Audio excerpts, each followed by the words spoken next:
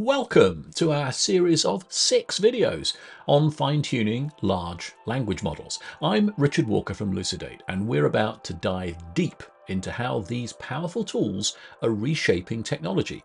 You'll learn not just what LLMs are, but how you can manipulate them to do astonishing things, from enhancing machine learning models to creating your own applications. Let's get started.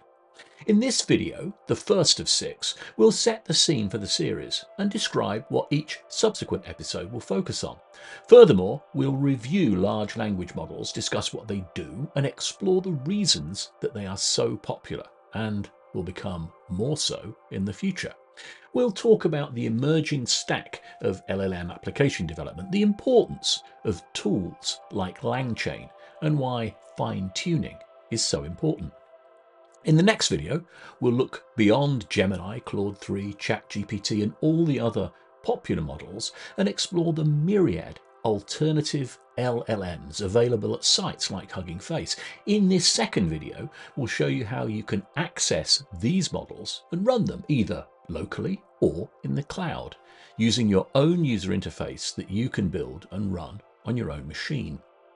Following this, in the third video, we'll demonstrate how you can fine-tune these models on your own datasets or on third-party datasets, and we'll show you how you can upload these fine-tuned models to Hugging Face to share with other AI developers. In the fourth video in the series, we'll delve deeper into some optimization techniques, specifically LoRA or low rank adaptation. This neat mathematical trick allows us to fine-tune our models hundreds of times faster with very little impact on model accuracy and performance. In the next video, we'll put all of this together and see how we can build our own data sets for fine-tuning and train our own models on our own machines and see how to share these models on Hugging Face with others should we wish. Finally, we'll take a look at how we can test our fine-tuned models to evaluate how effective our fine-tuning has been. This will allow us to optimize our approach to fine-tuning and result in the development of better and better models. So let's first dive into large language models. Let's first ask ourselves very specifically, what are they and what they do? For all the hype and sensational claims, LLMs are actually pretty simple machines that do a single difficult thing extremely well. Given an input or prompt, which is a sequence of words, they output a probability distribution of the next most likely word in that sequence. If we're being super pedantic here, then what they actually output is a probability distribution of the next most likely token in a sequence. A token is a subword, somewhere between a word and a syllable, but let's not get too wrapped around that axle. We'll stick with the definition that what they output is a probability distribution of the next most likely word. Models come with a setting called temperature. If this is set to zero, then they will output the next most likely word. If this is any non-zero value, then the model will sample a distribution of next most likely words and output one from a range of likely words. With higher temperature settings, the LLM output will be a weighted random drawing of a greater number of words, which will make the output more varied and interesting. As more words are added to a sequence, the probability distribution of the next most likely word will change. Here I've coloured low likelihood words in red with higher likelihood words shown in purple and the visible spectrum showing all shades in between. Usually, at the start of a sequence, the range of possible words is large and the likelihood of any given word is extremely low. But as more words are added to the sequence, the range of possible words decreases. Here we have a sentence with somewhat negative sentiment. The inclusion of the word recession will lead to a probability distribution of somewhat negative words. If we change our prompt by making it even more negative with volatility increasing, assets showing instability, overexposure to high risk sectors, etc., we see that our probability distribution changes with the inclusion and removal of different words reflecting the more negative tone. Now, this at its heart is how prompt engineering works. By including certain words in our prompt, we will influence the probability of the next most likely word. So, by asking a model to think this through step by step, as in chain of thought prompting, we can elicit a different response from the large language model. This is shown to be especially good in helping LLMs deliver better results for logic problems. Fine tuning also helps improve the performance, but in a different way to prompt engineering. Fine tuning reconfigures the parameters, i.e., the weights and biases of the LLM, by showing new training corpora. This is extremely useful if you'd like to provide some specific subject matter expertise to the model, such as risk management techniques or the ability to read and understand a balance sheet, income statement, and cash flows from company filings.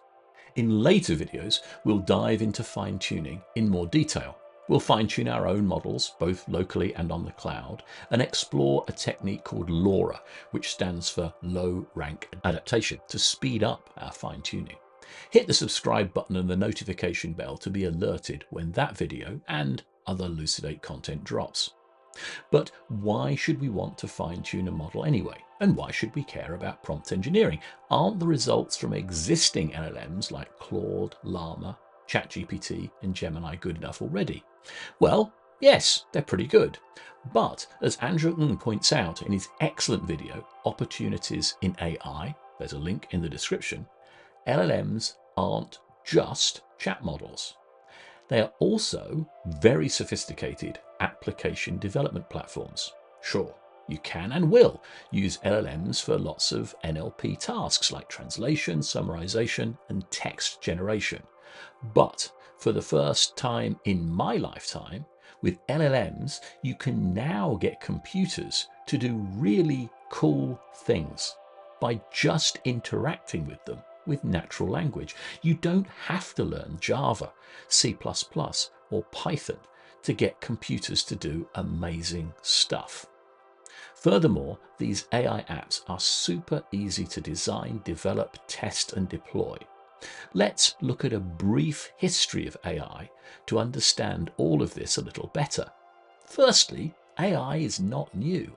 It dates back to the 1950s in academia, and each leap forward in AI technology has typically been associated with an advance in both hardware to run these algorithms on, as well as some concomitant advance in content or data acquisition. This data is the stuff that you need to drive power and teach the algorithms. With the advent of GPUs around the turn of the millennium, AI came out of academia and found its way into the corporate world. The main users were the big tech companies. They had both the hardware platforms and the data to be able to drive the algorithms. But crucially, they had something else a lot more valuable billions of users. With 4 billion users and an ARPU of 25 cents, you have a billion dollar a year business. The problem that they used AI to solve was a simple one. Will this user click on this? With this being an advert, a product, a video, an article, a movie, a TV show, even some YouTube content. In order to do this prediction of which users would click on what, the tech companies got really good at a recipe of hiring 100 or so engineers, QA folks, designers, product managers, salespeople, political lobbyists, and marketers to spend hmm, 9 to 12 months developing products to predict user behavior. Will they click on this? Each product was an undertaking of hundreds of millions of dollars per app. But if your revenue opportunity is billions of dollars a year, then the ROI is pretty compelling. As a byproduct of this development, some guys at Google discovered the attention mechanism and transformer architecture, which is the type of neural network at the heart of LLMs. This work was in part motivated by a desire to perform sequence to sequence translation tasks. Much like the accidental discovery of penicillin, this has given us something transformational. As we've highlighted, a key breakthrough of these LLMs is their accessibility.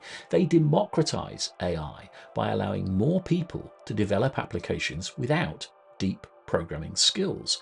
This is because LLMs can understand instructions in natural language and execute tasks ranging from writing code to automating complex workflows. These LLMs significantly lower the barriers to entry for creating new technology and businesses. They reduce the time and cost associated with traditional software development, testing, and deployment. Now, instead of hiring hundreds of people for up to a year to build an app, you can have a handful of prompt engineers and a couple of programmers for a few weeks. This means you can now go after the long tail apps with 5 million to 50 million a year in revenue. This is, pun slightly intended, transformational. But that's not all. The natural language in, natural language out capability of LLMs means that you can put them into loops with the output being fed back as input. This gives LLMs reasoning abilities analogous to humans. With the right prompting, such as the React prompt on your screen, you can use agents and tools to get the AI to solve problems at runtime that the system has not been explicitly programmed to solve. This use of LLMs through personalization and fine tuning and prompt engineering, and the ability of LLMs to acquire new data at runtime using things like RAG, retrieval augmented generation, and finally, the use of agents and tools which exploit the ability of LLMs to be put into loops has given rise to an emergent AI application architecture. First, we have the large language model layer. Here, there are several design choices. Which LLM will you choose? Will it be hosted on your own machine or will it be in the cloud? Will it be a foundational model from a big tech company or a model you've built yourself? Next up is the personalization layer. This contains choices like fine tuning, the main topic of this video series. It also encompasses areas like prompt engineering to further refine and personalize the behavior of our application. On top of this comes the data layer. This looks at data acquisition strategies like retrieval augmented generation. It also includes things like vector bases and doc stores. Products like Weaviate, Pinecone and Faiss for efficient storing of our data. Then finally, we have our reasoning and action layer.